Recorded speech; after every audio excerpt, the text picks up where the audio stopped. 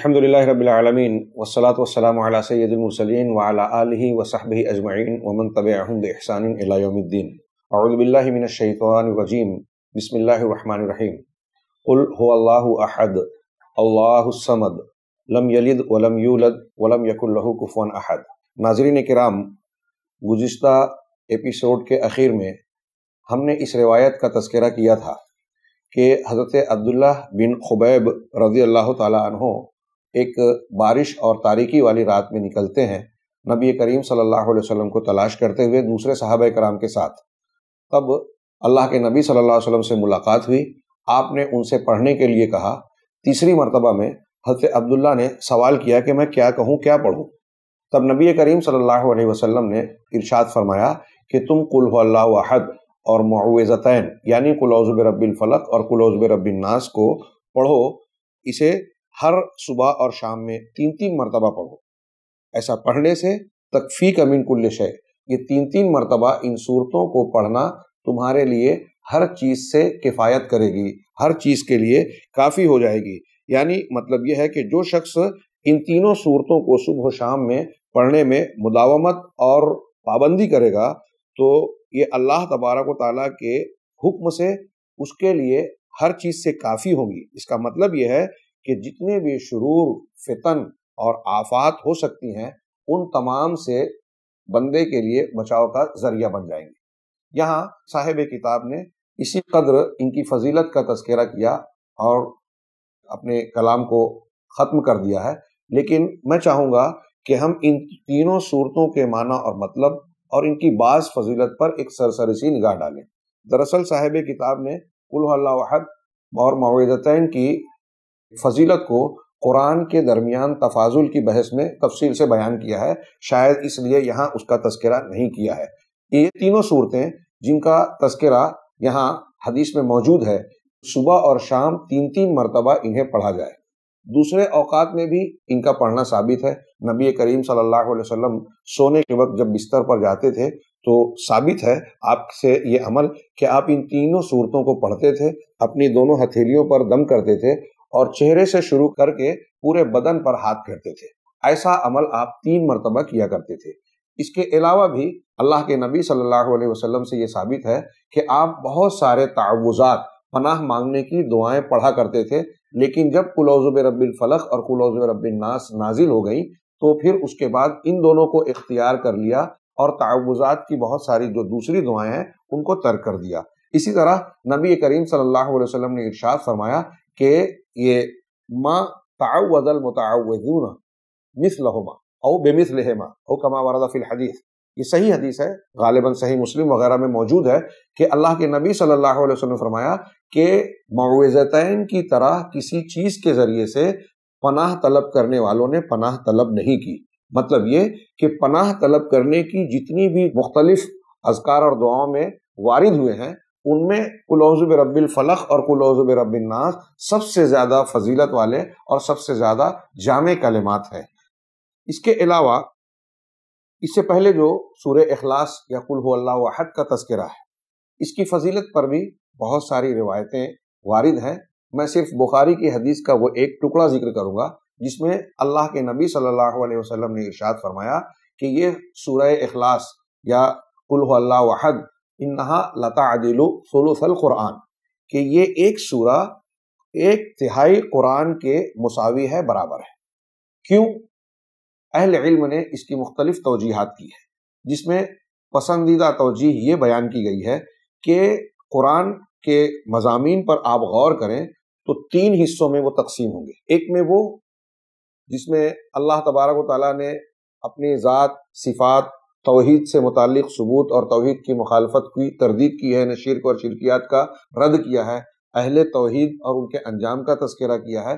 तो कुरान का एक हिस्सा ऐसा है जिसमें अल्लाह तबारक ताली की ज़ात, सिफ़ात, आमाल, रुबूबियत, उलूहियत और मुख्तलिफ़ असमा सिफ़ात का तस्करा है। एक हिस्सा ऐसा है जिसमें अहकाम और अवामिर बयान किए गए हैं कि क्या करना है, क्या नहीं करना है और कुरान का एक हिस्सा ऐसा है जो आखिरत और उससे मुतल उमूर पर मुश्तमिल है। इसमें से एक हिस्सा जो तोहहीद से मुतल है सूर अखलास में उसके मजामी इंतहाई जाम अंदाज में सिमटे हुए हैं। इसमें रहमान की सिफत और अल्लाह तबारक ताला की ज़ात और बेनियाजी को, उसकी तोहहीद को मुख्तसर से कलिमात में बयान किया गया है। और जब कोई बंदा इन कलिमात को समझ कर अपने दिल से और ज़बान से अदा करता है तो गोया वो ये ऐलान करता है कि वो अल्लाह तबारक ताला के बारे में इस बात का भरपूर इल्म रखता है, मारिफत रखता है कि वो तनहा है, उसके जैसा कोई नहीं है, वो तमाम खूबियों का मालिक है, कोई उसका हमसर नहीं है, वो सबसे पहले है, वो सारी चीज़ों को पैदा करने वाला है और सारी चीज़ें पूरी कायनात उसकी मखलूक और मोहताज है। लिहाजा इन बुनियादों पर वो अल्लाह तबारक ताला की जब मारिफत हासिल करता है तो वो अपने दिल को, अपने अमल को, अपने अपने आप को गोया मारिफत और इल्म के एतबार से अल्लाह तबारक ताला की तोहीद में खालिस बनाता है। इसीलिए इस सूरत का नाम है सूरतुल इखलास।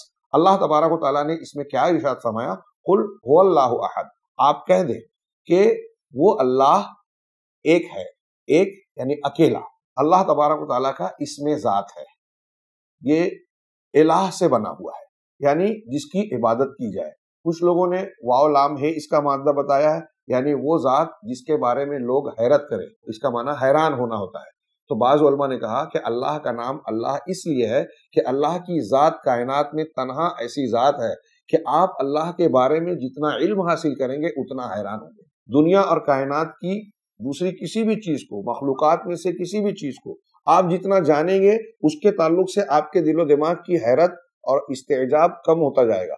एक नई मशीन आती है, आप बहुत हैरत से उसे देखते हैं। लेकिन जैसे जैसे आप उससे मानूस होते हैं, उसके फ़ंक्शंस को, उनके कामों को, उनकी जो है पार्ट्स को आप जानने लगते हैं, वैसे वैसे उसके मुतालिक आपकी हैरत कम होती चली जाती है।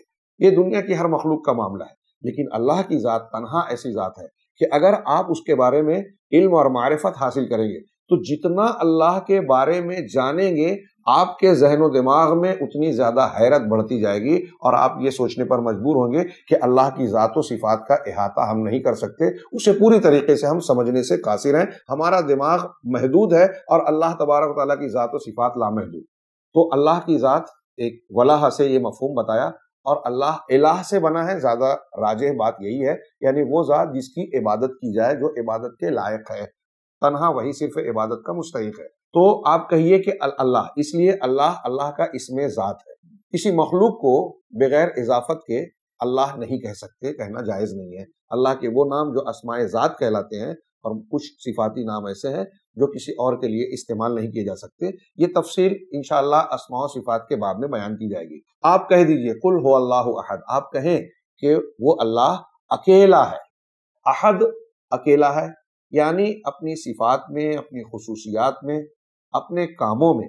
अल्लाह तबारक ताला की जो भी सिफत है, जो भी खूबी और खासियत है, उन तमाम चीज़ों में अल्लाह तबारक ताला अकेला है। क्या माना अकेला का?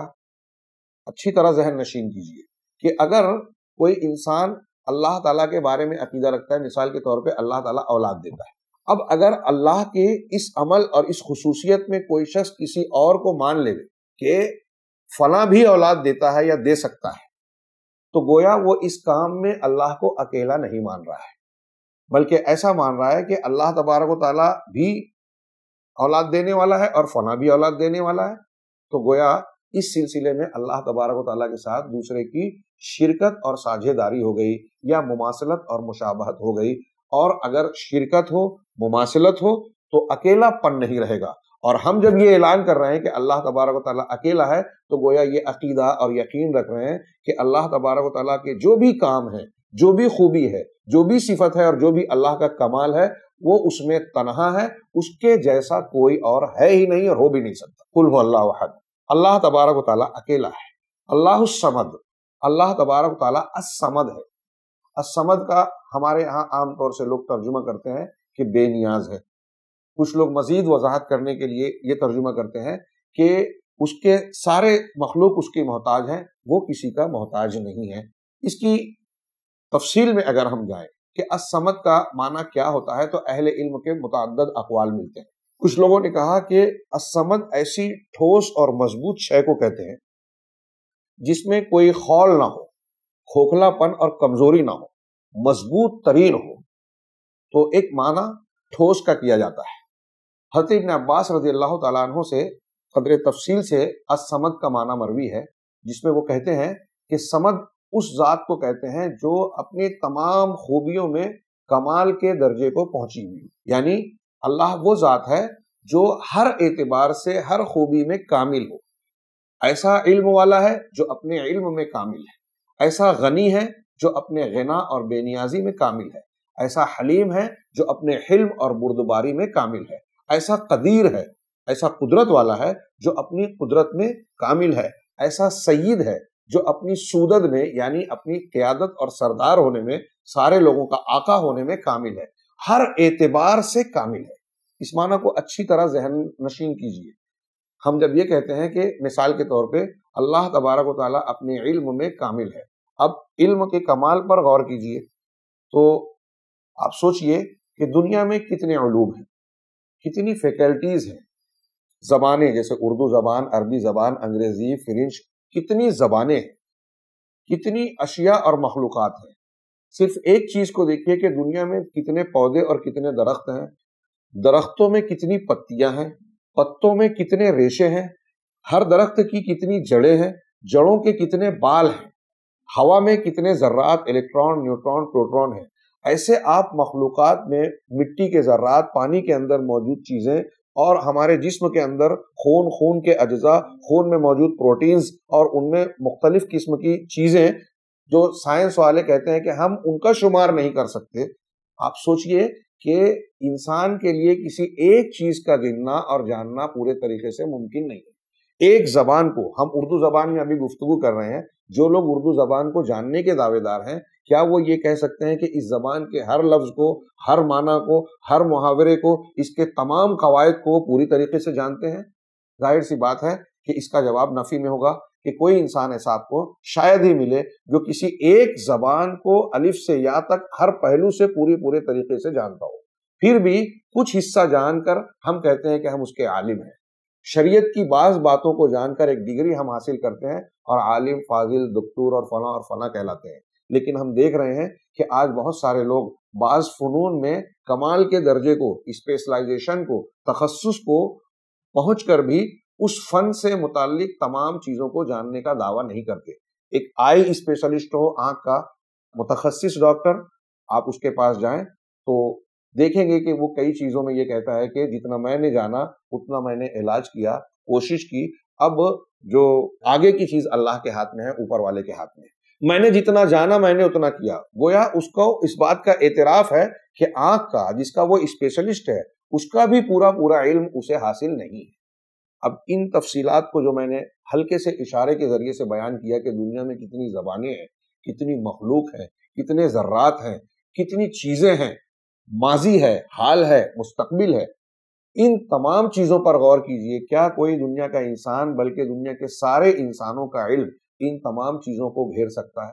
नहीं। हम जब कहते हैं कि अल्लाह तबारक ताला अलीम है, इल्म वाला है, और वो अपने इल्म में कामिल है, उसमें कोई नक्स और खामी नहीं है।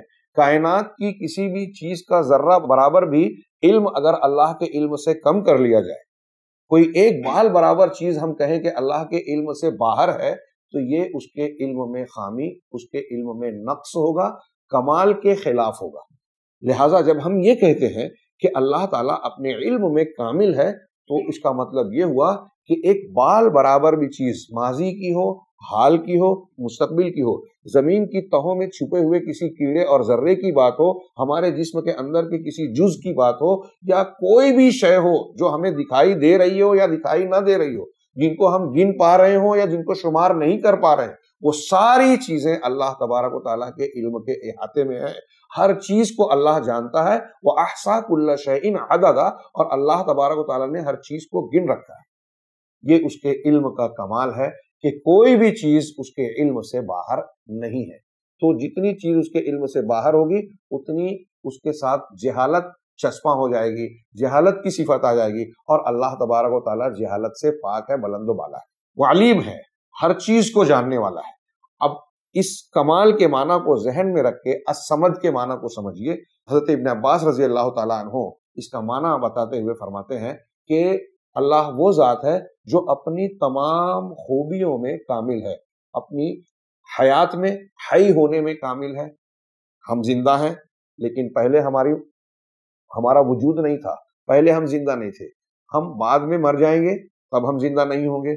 इसी तरीके से ज़िंदगी की जो भरपूर अलामतें हैं, जब हम नींद की हालत में होते हैं, सो जाते हैं तो ज़िंदगी की अलामतें हमारी भरपूर नहीं होती। ओंगते हैं तो हमारी ज़िंदगी में नक्श पैदा होता है। बेहोशी की हालत तारी हो जाती है तो ज़िंदगी में नक्श पैदा होता है। अल्लाह तबारक ताला की ज़ात ऐसी हई है, इस तरह की हयात से मुतसिफ है कि ला खुदहू से न तुम वलानौम उसे ओंग भी नहीं आती और ना उसे नींद आती है, उसे मौत नहीं आ सकती। ज़िंदगी की जिद और उसमें नक्श पैदा करने वाली कोई भी सिफत उसकी ज़ात को छू नहीं सकती। इस तरीके से उसकी हयात हयात कामिला है। वो कयूम है कामिल तौर पर। वो पूरे तौर पर कुदरत रखता है, कोई भी चीज़, जो चीज़ है, वो अल्लाह तबारक ताला की कुदरत से बाहर नहीं है। अल्लाह तबारक ताला असमद है, यानी अपनी तमाम खूबियों में कमाल दर्जे को पहुँचा हुआ है। और ज़ाहिर सी बात है, जो जात कामिल होगी, जिसके अंदर हर खूबी कमाल दर्जे की होगी, वो किसी और का मोहताज नहीं होगा। और वो, बल्कि सारी मखलूक उसकी मोहताज होगी। हम ज़िंदा हैं, हम सांस लेने में अल्लाह के मोहताज हैं, खाने में दूसरे के मोहताज हैं, पीने में मोहताज हैं, ज़िंदगी की तमाम जरूरियात में हम मोहताज हैं, बल्कि दुनिया में हम देखते हैं सूरज, चाँद, सितारे, आसमान, ज़मीन, पेड़, पौधे, दरिया, जितनी भी मौजूद चीज़ें हैं, वो सब के सब अपने वजूद में, अपनी बका में, अपने कायम रहने में अल्लाह तबारक ताला की जात के मोहताज है। कोई कामिल नहीं है, सब के सब नाफिस है। इसके मुकाबले में अल्लाह की जात असमद है। अलहै अलकयूम है, अर्रब है हाँ और अपनी तमाम खूबियों में कामिल है, का मतलब ये कि सारी चीज़ों को वो संभाले हुए है, सारी चीज़ों की ज़रूरियात को पूरा करने की कुदरत, सलाहियत उसके अंदर मौजूद है, और वो कब कौन सी चीज़ अंजाम देता है, उसका इल्म भी रखता है, और उसकी हमत हमत बालगा है, वो हकीम है, उसकी हमत भी कामिल है, लिहाजा वो जो चीज़ भी अंजाम देता है, वो उसके इल्म और हमत का तकाजा होती है। ये सारे माना और मफहूम अल्लाह के नाम असमद में सिमटे हुए हैं कि अल्लाह की ज़ात वो है जो अपनी खूबियों में कामिल है, जिसकी सारी मखलूक मोहताज है और वो किसी का मोहताज नहीं है। वो इसीलिए किसी का मोहताज नहीं है कि उसके अंदर सारी खूबियाँ कमाल के दर्जे को पाई जाती अल्लाह समद लम यलिद वलम यूलद। समद के एक माना कुछ उलमा ने कहा कि यह है जो कुरान ने आगे बयान किया कि ना उससे कोई बेटा पैदा हुआ है, ना वो किसी का बेटा है। ना उसकी कोई नस्ल है, ना वो किसी की नस्ल से है। अल्लाह तबारक ताला की ज़ात मखलूक नहीं है। वो हमेशा से है और हमेशा रहने वाली है। अल्लाह तबारक ताला की ज़ात की कोई इब्तदा नहीं है। उसका कोई बाप नहीं है और उसका कोई बेटा नहीं है। वो तनहा है, अकेला है और ये उसकी समदियत का तकाजा भी है कि वो किसी का बाप और किसी का बेटा ना हो। ना उसकी कोई बीवी है। बेटा होने के लिए बीवी होना ज़रूरी है। अल्लाह तबारक ताला की कोई बीवी भी नहीं है। अल्लाह तबारक ताला को ना इन चीज़ों की हाजत है और ना वो इन चीज़ों का मोहताज और इन चीज़ों का ज़रूरतमंद है। अल्लाह तबारक ताला इन चीज़ों से पाक है। ये लम यलिद वलम यूलद में ये माना भी आता है कि वही हमेशा से है, वो अव्वल है, वो आखिर है। और सारी जब वही हमेशा से है तो अब कायनात जो बाद में वजूद में आई, इन तमाम को वजूद बख्शने वाला भी वही है और इन तमाम को चलाने और संभालने वाला भी वही है और इन तमाम के मकासद तक उनको पहुँचाने की कुदरत, सलाहियत रखने वाला भी अल्लाह तबारक ताला ही है। लम यलिद वलम यूलद वलम यकुल कुफन अहद। और उसका कोई कुफु यानी हम पल्ला हम सर उसके जैसा कोई भी नहीं है। मतलब कोई ऐसी ज़ात, ऐसा वजूद है ही नहीं। जिसको हम अल्लाह के मुकाबले में पेश करें, अल्लाह तबारक वाली के बराबर समझ सकें। जब ऐसा कोई है ही नहीं तो हम ये तस्लीम करते हैं कि सिर्फ़ वही ज़ात है, तनहा, अकेली और अहदियत की हामिल है, समदियत की हामिल है, लिहाजा रब वही है और वही इबादत के लायक है। ये इल्म और मारिफत के अतबार से कुल अल्लाह अहद की सूरत में जब जो कलिमात बयान किए जा रहे हैं, अगर कोई बंदा इसे जान जाए और इसको तस्लीम कर ले तो गोया वो अपनी ज़िंदगी के मकसद, यानी तोहीद और ला इलाहा इल्लल्लाह के माना और मतलब पर पूरा उतरेगा। और इल्म के एतबार से इस बात को अच्छी तरीके से जान लेगा और इसके यकीन को पहुँच जाएगा कि अल्लाह के अलावा कोई ज़ात इसकी हकदार ही नहीं है कि उसको अल्लाह की तरह माना समझा जाए, उसको अल्लाह की सिफात में शरीक समझा जाए, उसके बराबर या उसके हम जाना जाए, उसकी जोड़ में माना जाए। ये सूरतुल इखलास का इतना ज़बरदस्त माना है, सुबह में और शाम में जब कोई बंदा इसे पढ़ेगा तो ज़ाहिर सी बात है कि उसकी तोहहीद ताज़ा होगी, उसके अकीदे में पुख्तगी होगी, अल्लाह तबारक ताला से उसका रिश्ता मज़बूत होगा, उसकी मारफत में इस्तेकाम पैदा होगा। अब एक निगाह मुजदैन के माना पर डालते हैं। अल्लाह तबारक ताला ने हमें तालीम देते हुए फरमाया कुल रब्बिल फलक।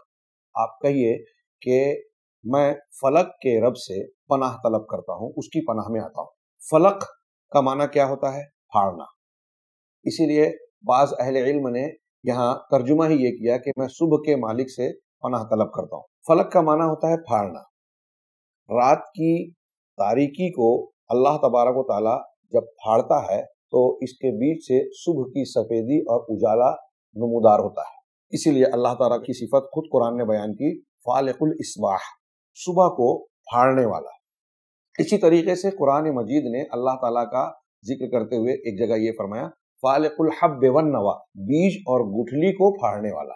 एक बीज को, गुठली को ज़मीन में जब बोया जाता है और ये फटती है तो पेड़ पौधे और दरख्त उगते हैं। इसी तरीके से इंसान के पैदाइश पर भी अगर गौर करें तो बच्चेदानी में जब फटन वाला मामला होता है, माँ के बैजा फटता है और मादा मनविया का नुस्खे का स्पर्म जाकर उससे मिलता है, उसमें पेवस्त होता है तो बच्चे इस्तेकरार हमल होता है और फिर बच्चे की विलादत होती है। और फिर बच्चेदानी फटती है तो बच्चे की का तवल्लुद होता है, विलादत होती है। इस एतबार से आप गौर करें तो फलक और फटने की सिफत के ज़रिए से पेड़ पौधे भी वजूद पा रहे हैं।